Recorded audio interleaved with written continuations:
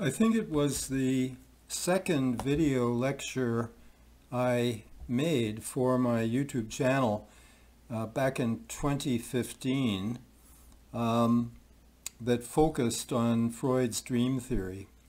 Um, I've had some requests recently to do a lecture on dreams and uh, I had a vague memory of having already done so so I went back and sure enough there it was. So uh, I'm going to make some preliminary remarks now uh, to cover material that I didn't touch on in that video and then I'm going to follow these remarks with uh, that video again which I will repost uh, together with these remarks.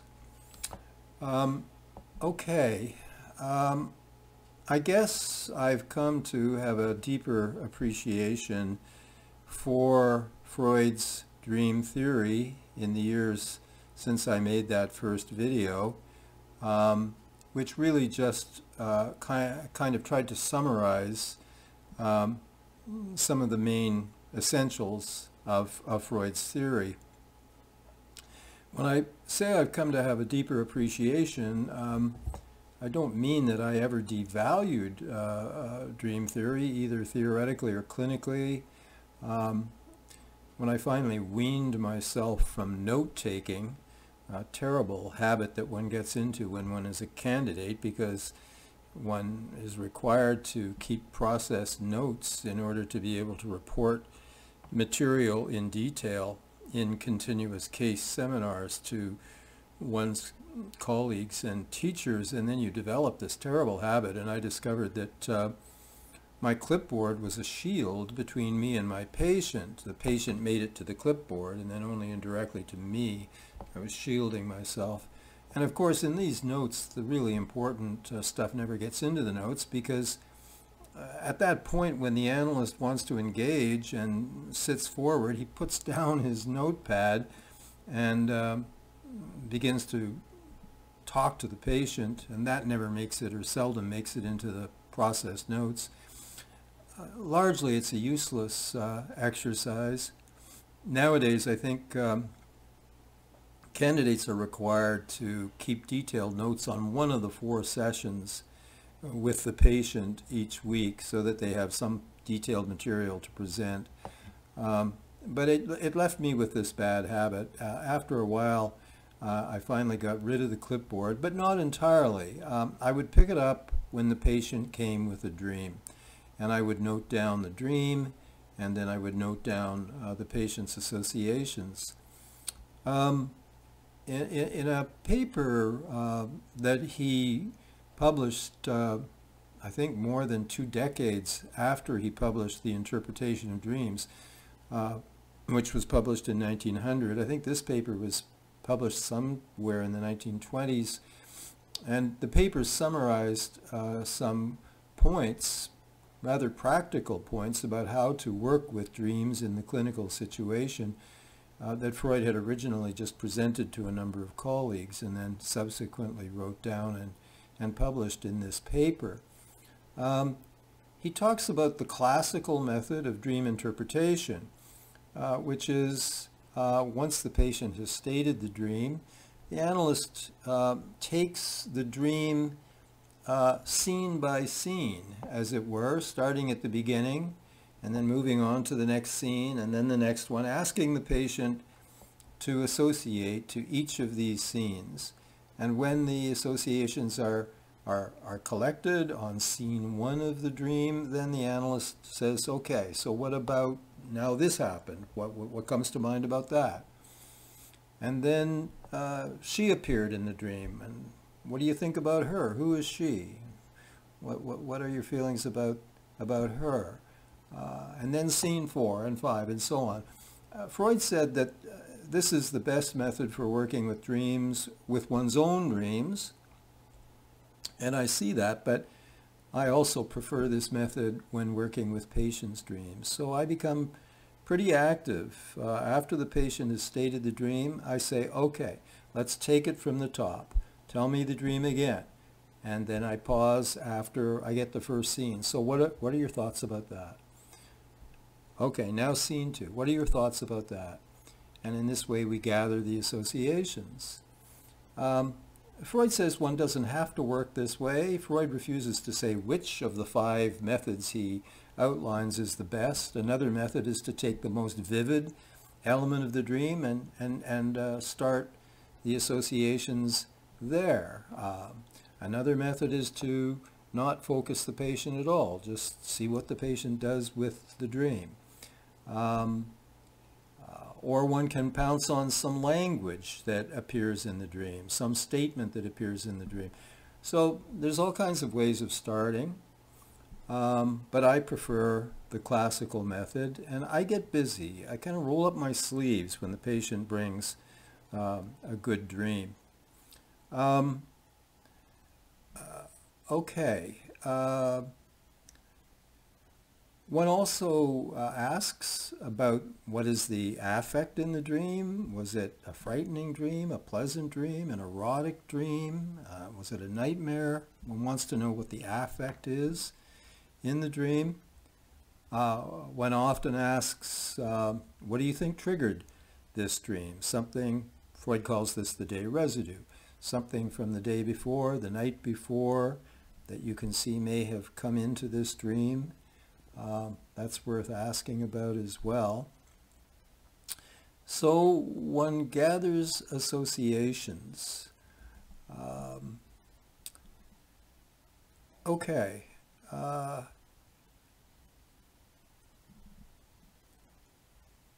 a, a, paper was written sometime in the 1940s, I think, by Richard Sterba called Dreams and Acting Out.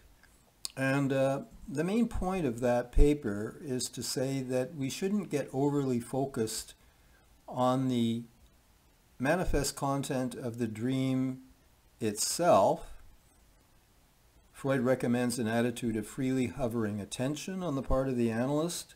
And so our attention should hover over what comes before the dream is reported, what comes after the dream is reported.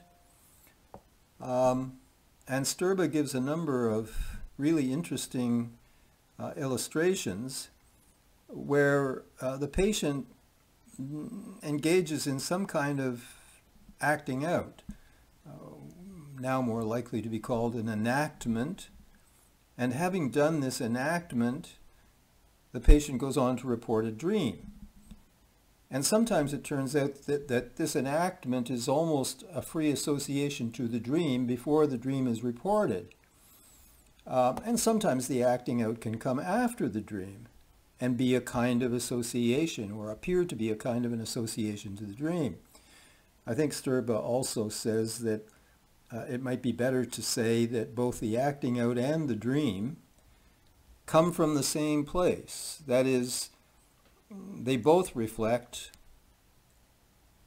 um, the same internal conflict, the same internal dynamic issues. I think nowadays I would prefer to say that maybe they both come from the same unconscious fantasy. The unconscious fantasy, which Kleinian spell with a PH, unconscious fantasy, has generated both the acting out and the dream. Sterba gives the example of a patient who uh, always comes wearing his glasses, uh, but on this day he arrives without his glasses. He realized he'd left home without them halfway to the analyst's office and he didn't want to take the time of going back and getting them, so he comes without the glasses. Okay, there's a bit of an enactment. That's an uncharacteristic behavior. He then presents a dream in which uh, he was about to get into a fist fight with some man. And uh, I guess back in the day, the habit before you got into a fist fight in preparation was to remove your glasses. Okay, we're going to fight. I'm taking my glasses off because I don't want to get punched in the face and have my glasses break and have some glass wind up in my eyes. Um, so in light of that dream, it appears that unconsciously the patient was coming unconsciously expecting to get into something of a fight with the analyst, so he had removed his glasses in advance. Okay, the acting out serves as a kind of an association that reveals the meaning of the dream. Uh, Sterba went on to give a number of other really illuminating uh, illustrations of this. Uh, so, in a way, we, we can say that we should be listening to the whole session as a dream. Uh, the way the patient enters the office, uh, the way the patient leaves the office, these kinds of enactments. So we're not just listening for the dream, because the dream is not just the dream. The dream is uh, all of this behavior put together. That's really listening with freely hovering attention. And this point has wider significance um, in that it kind of it kind of implies that um, much of the time we're walking around in a dream. That patient who left home without his glasses was not consciously thinking, I better remove my glasses because I'm going to get into a fight with my analyst. This is all unconscious. How much of our behavior is exactly this? How much of the time, without knowing it, are we living out an unconscious fantasy? I think a great deal of our behavior uh, is in fact the living out of unconscious fantasy. Um, and therefore the goal of psychoanalysis is to acquaint us with our unconscious fantasy so that we can begin to distinguish fantasy from reality. And uh, analytic work on on literal dreams is an important part of this. Um, other writers, Otto Pfannenstiel, for example, uh, point out how sometimes dreams um, represent uh, lost memories, memories from early childhood. And sometimes the dream represents something not remembered, but something that happened that was not processed either by the primary process or by the secondary process.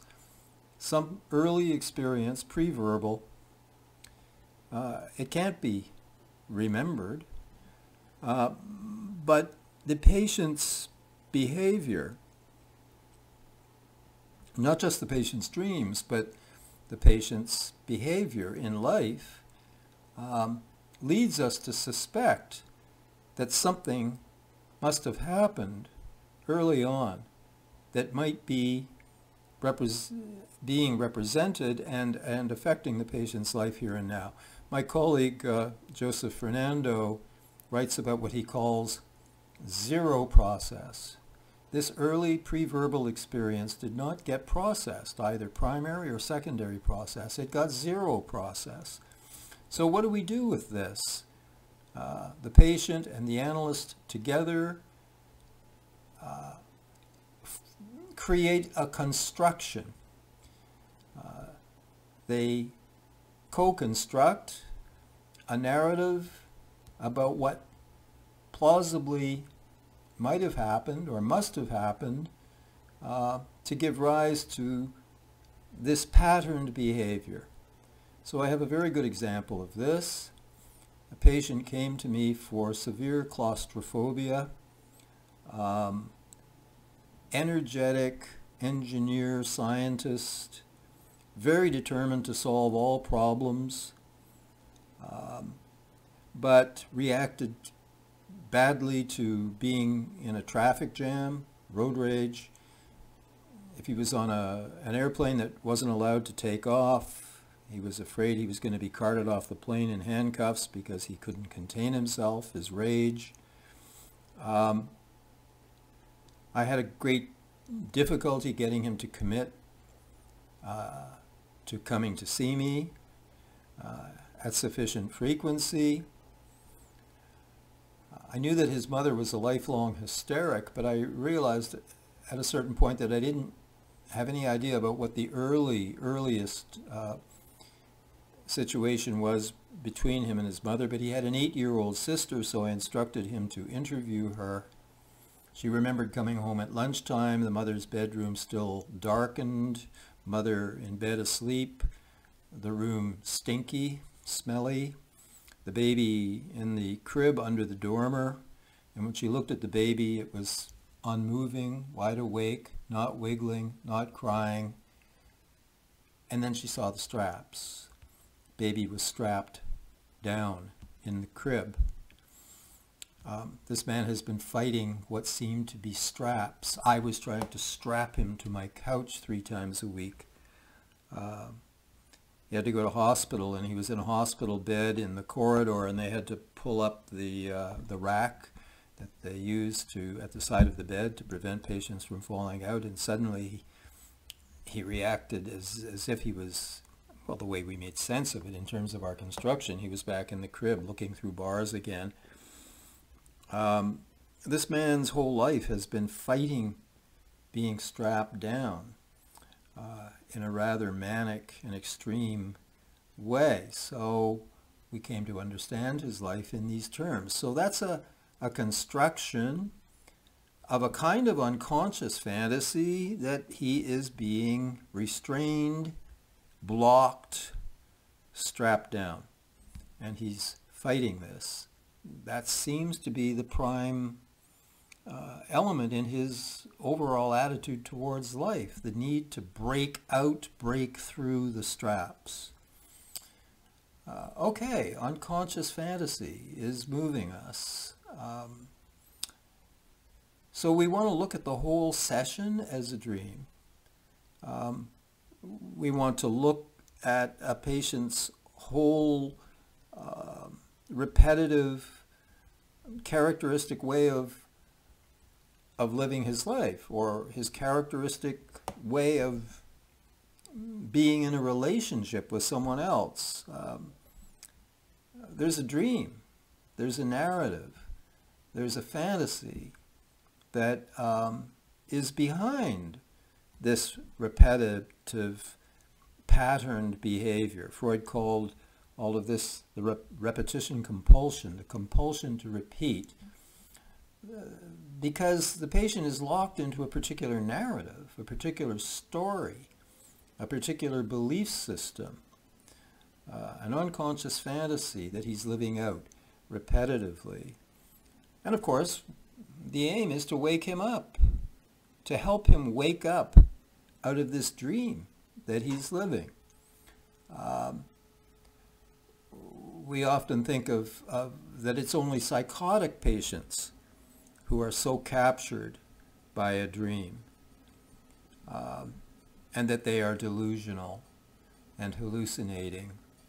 But um, we are all closer to the psychotic than we ever thought. I mean, Leonard Shengold clarified that back in the 90s when he wrote a book called uh, uh, Delusions of Everyday Life. People thought delusions belonged to the psychotics experience, but of course Shengold recognized that everyone is delusional to a degree, at times, some people much more than others, but in a sense we're all delusional.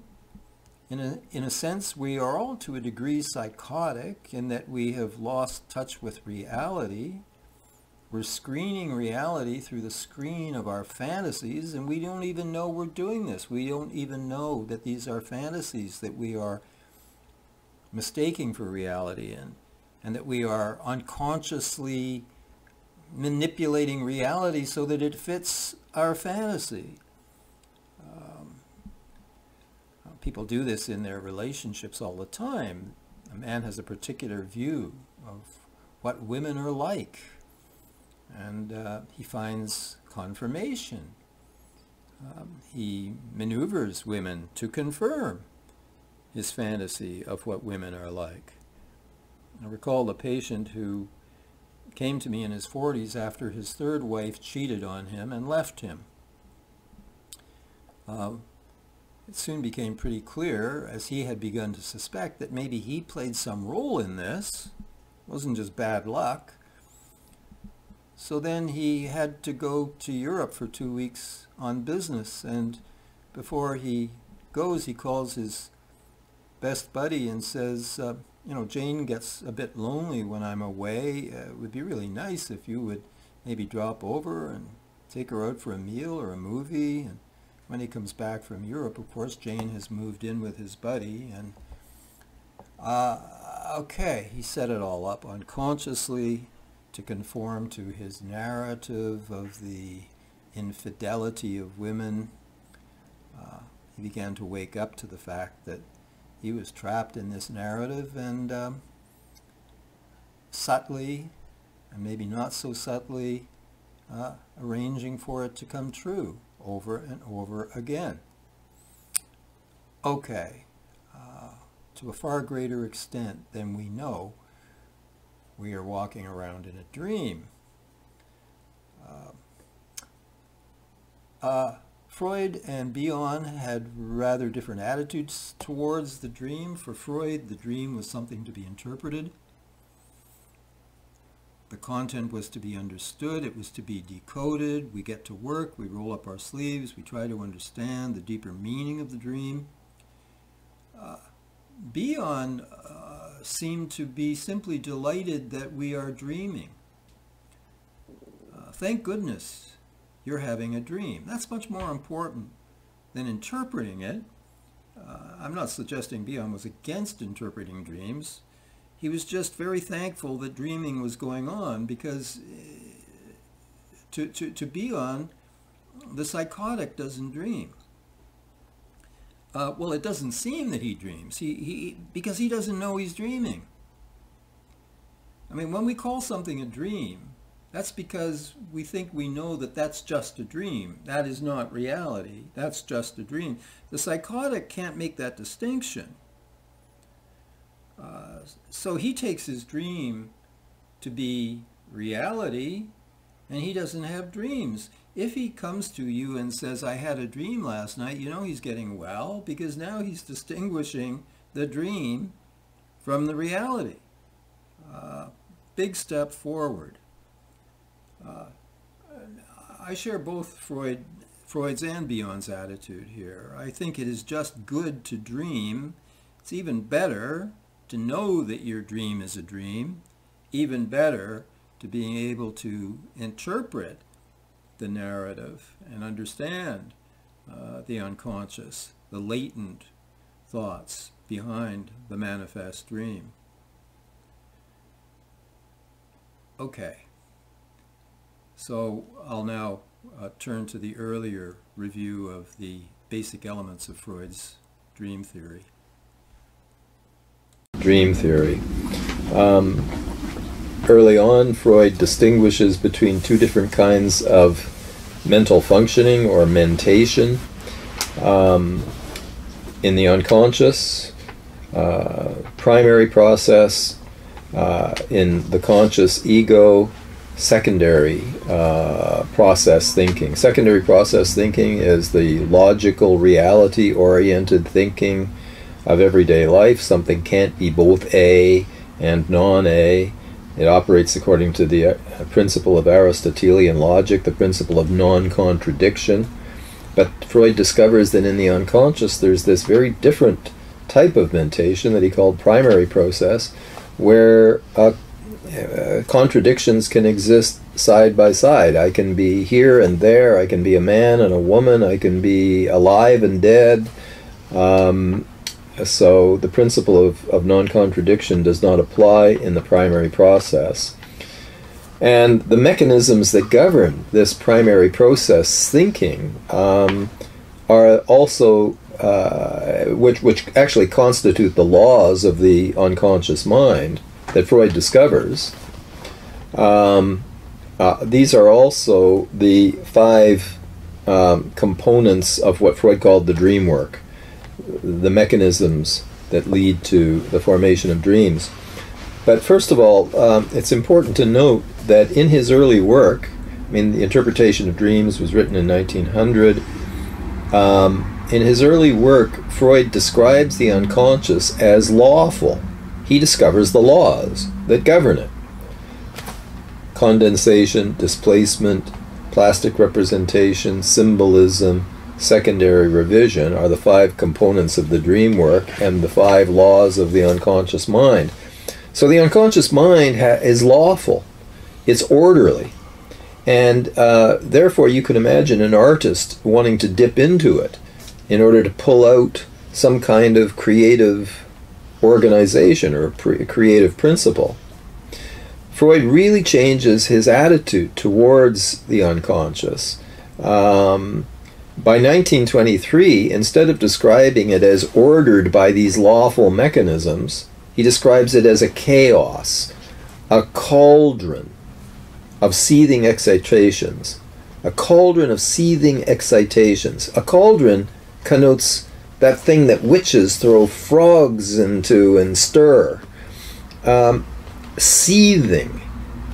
Snakes, animals, uh, insects, seething. So the unconscious is this chaotic, threatening, seething witch's brew in 1923. I mean, the young Freud felt that society was too repressive. He wanted it to loosen up, especially with re- regard to sexuality. The older Freud, seeing the unconscious as a witch's brew, is becoming, uh, is developing a conservative a- attitude uh, towards we need the social law, we need the superego uh, to restrain and keep at bay the chaotic forces of the unconscious, which he uh, now is associating with barbarism. He's now talking about the thin veneer of civilization, beneath which barbaric drives of sex and aggression exist. Um, I guess it's not that uncommon for young men to be radical and older men to be conservative, but that certainly applies to, to Freud. But in the process, you know, he changes his understanding of the unconscious mind from, from an orderly creative thing to a chaotic thing. Uh, there's not enough in the psychoanalytic literature that has drawn attention to this major shift in Freud's attitude towards the unconscious mind. Um, okay, but let's go back and look at the laws of the unconscious then. Uh, first of all, condensation. Uh, condensation affects disguise uh, by substitution, but you substitute one thing for another on the basis of something that they have in common, a principle of similarity. The Russian linguist uh, Roman Jakobson and following him Jacques Lacan uh, understood that Freud, in talking about condensation, he's really just talking about metaphor, because that is what metaphor is. It is substitution based on a principle of similarity. So let's see how this works in dreams. All you can remember from your dream is that you seem to be spending hours in a shoe store uh, trying on one pair of shoes after another. You, foot, you slip your foot into this shoe, and then you slip it out, and then you slip it into another shoe, and all night long it's this in out. The foot is analogous, similar to the penis. The shoe is analogous to a vagina. It doesn't look like it has anything to do with sexual intercourse, but it's the old in out all night long. Substitution has affected disguise on the basis of metaphor. That's condensation. The second mechanism is displacement. Here also, disguise is affected by substitution, but the substitution is not on the basis of a similarity, but on the basis of contiguity. Not things that resemble each other, but things that go together. So A, B, C, D, E go together, they don't resemble. 1, 2, 3, 4, 5 go together, but they don't resemble. So in your dream, all you remember is the smell of bacon pervading the house and the sizzling of the bacon on the stove. And you recount the dream, and I ask you for your associations, and you go from bacon to eggs, and then it hits you, oh my God, maybe my egg is fertilized, the condom, condom broke. On the surface, it doesn't look like the dream has anything to do with fears of pregnancy but you went from bacon to eggs. Bacon doesn't resemble eggs. Eggs don't resemble bacon, but they are contiguous. They go together, and disguise has been achieved on that basis. The third mechanism, plastic representation, simply means that the dream relies on a kind of picture language. Uh, actually, Chinese contains pictographs, little pictures, as did um, Egyptian hieroglyphics. The, the, the, the, dream simply works in this uh, communication through a kind of picture language. Um, the fourth element uh, is symbolism. And here is where, in my opinion, Freud gets into trouble. Um, people think that Jung had a concept of a collective unconscious and that Freud didn't. That's false. Freud, like Jung, did have a concept of a collective unconscious. Um, and um, both Jung and Freud believed that when patients are not producing personal associations to their dreams, the analyst steps in with his knowledge of universal symbolism. For the, for the Jungians, this is the universal knowledge of, of, of, of symbolism contained in world mythology. Uh, for Freud, the analyst steps in with his knowledge of this kind of universal symbolic language of the mind. Um, uh, I think this is chapter 10 in Freud's introductory lectures devoted to symbolism. In all times, all places, all historical periods, knives, daggers, umbrellas uh, have a phallic significance. Bags, containers uh, have a, signify the vagina or the womb. Um, uh, running up or running downstairs. Bang, bang, bang, bang, bang. Somebody's getting banged. This is intercourse. Uh, snakes are going to have a phallic significance. Okay, Freud was very much under the influence of Wilhelm Stekel, who loved these automatic equations as do these crappy books you can buy at the world's biggest bookstore, A Thousand and One Dreams Interpreted. You dreamt of a tower, you look in the index, T, T tower, tower. Ah, that's what it means. Uh, this, of course, is utter nonsense, um, but Freud fell for it to a certain degree, and in doing so, he departs from his overall method. There's a wonderful essay by the literary critic Kenneth Burke written back in the 1930s called Freud and the Analysis of Poetry. And Burke distinguishes two different kinds of literary interpretation essentializing and contextualizing. And he says that Freud's overall method is a contextualizing method. Freudians don't know what dreams mean. We simply have a method of putting the dream in the context of the patient's own personal associations to the dream.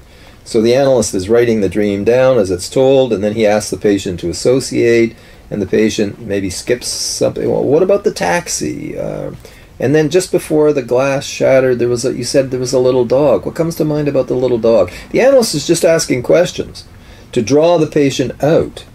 Why? Because the mind is an association system. The mind is a system of, of associated elements, and the analyst is simply inviting associations. And the meaning of the dream sometimes emerges through these personal associations. Freud says sometimes the patient doesn't have any personal associations, so that's where I have to step in with my knowledge of the universal symbolism. And this is where Freud and Jung fall into what Burke calls essentializing as opposed to contextualizing. And I think it's a mistake.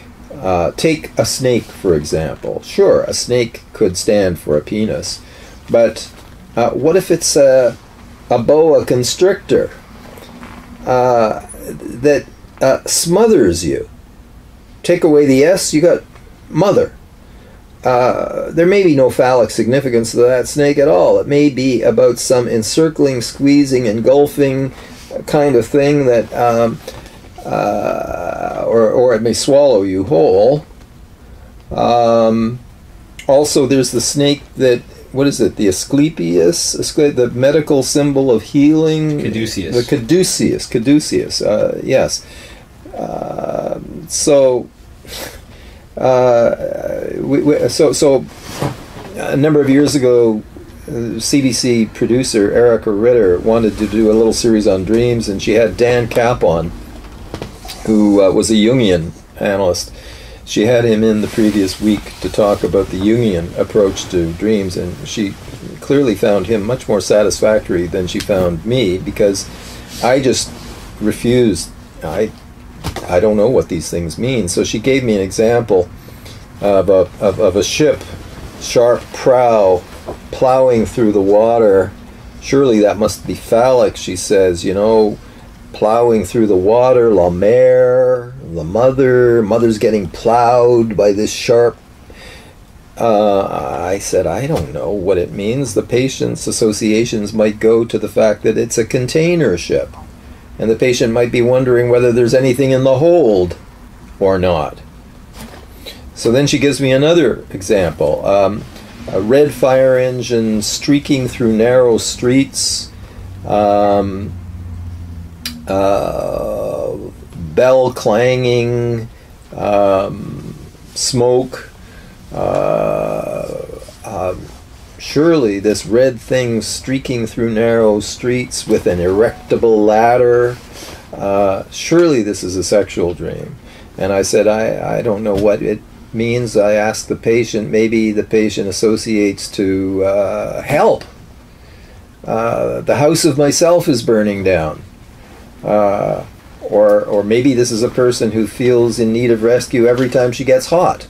I don't know. Who knows? We'll find out uh, through the uh, associations that the dream has. So I think Freud opens in this one element, he opens the door to analyst authoritarianism and departs from the otherwise much more democratic and humble uh, technique of simply uh, realizing that the patient is the only expert uh, on the patient's psyche. Um, okay, so that's the fourth. And then the fifth element is secondary revision. So I always say, imagine uh, a, a, lumber, a factory. What, what, what, where, where, what do you call those factories where the logs go in and uh, and at the end the timber comes out? Um, uh, sawmill. A sawmill. A sawmill. So the raw trees are going in at this end, and the nice lumber boards are coming out at the other end. And think of these five things happening in between. First, the raw material is condensed, and then it's displaced, and then it's plastically represented, and then it's symbolized. And the fifth and final uh, element is what Freud calls secondary revision. The message, the latent content, uh, has been all chopped up and disarranged because the latent message that generates the dream in the first place is unacceptable. It, it causes too much anxiety or guilt.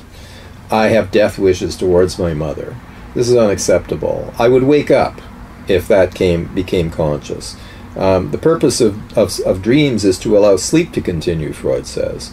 Uh, and so it allows sleep together to, to continue by cloaking this message in such a way that it passes through the censorship and the alarms don't go off and I'm able to go on sleeping. And I have a manifest dream, which is a disguised dream, disguised through all of these mechanisms.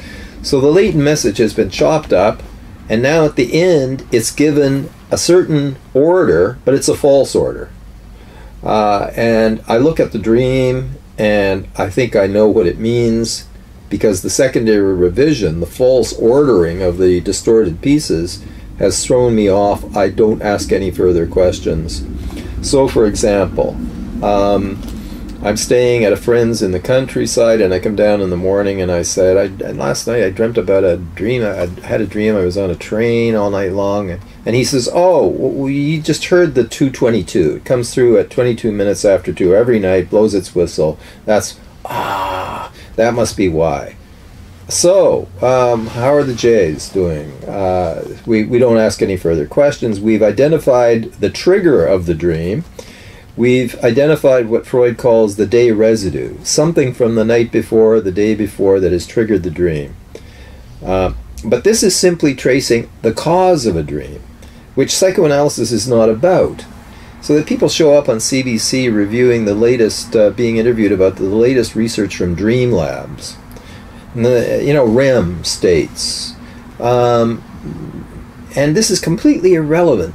And yet these these arrogant arrogant characters think that Freud's outmoded dream theory is you know, in the garbage. It's some 19th century, you know, and they go on to talk about the dream physiology, uh, the brain physiology of dreaming, which is completely irrelevant. Because psychoanalysis is not about the cause of dreams. The cause of my dream might have been the 222. It might have been the pizza I had before bed. Psychoanalysis is about the meaning of dreams, not about the cause of dreams. So, all right, the, the, the train whistle in the distance meant that I was having a dream about being on a train. But now ask me about the rest of the dream. Well, there was a murder on the train. Well, who got murdered? Well, it was this lady. Well, what did she did she re, she know her? Does she remember or resemble anyone? What are your thoughts about the the woman who got murdered? Um, there was something about her glasses. These horn rim. Oh, my mother just got new horn rim glass. Well, now we know it's mother who got murdered on the train, and we're moving on towards getting at the real uh, interpretation of, of the dream. Okay, secondary revision, the false order that throws us off.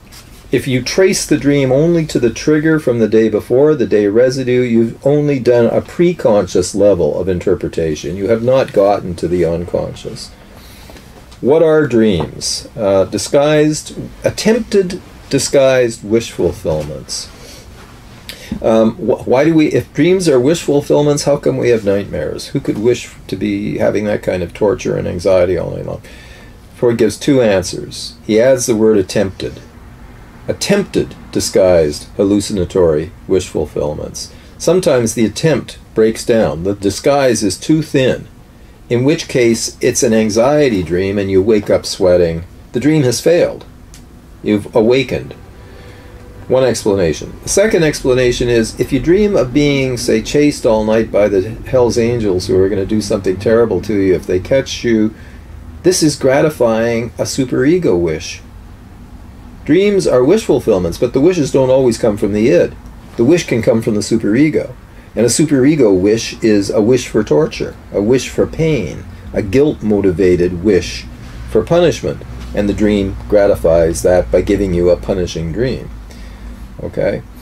Uh, attempted disguised hallucinatory wish fulfillments. Remember, dreams are hallucinations. Psychotics don't dream. Well, that's because all they do is dream. They've lost the distinction. And if a psychotic patient says, I had a dream, you know he's getting better. Because in saying, I had a dream, he's making a boundary between reality and dream. He's regaining the boundary. So we're all of us psychotic at night.